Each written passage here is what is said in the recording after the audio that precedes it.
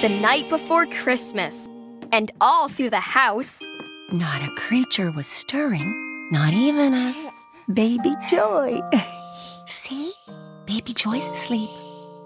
And you know who'll be coming soon? Santa Claus! Santa Claus! That's right, honey. Santa's going to visit you and Jack and Joy and lots of other children, too. Okay, let's get you to bed, baby Joy.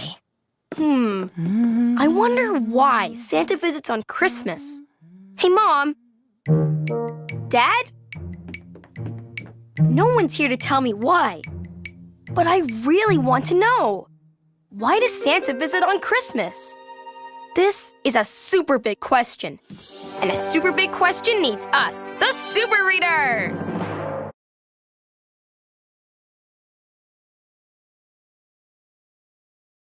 Happy too. That's the answer to my question! Thanks, Super Readers! Come on, let's get back to my house. I'm going to make something for my family for Christmas.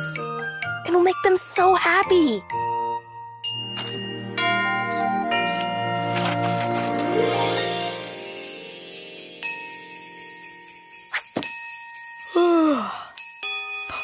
It's Christmas morning.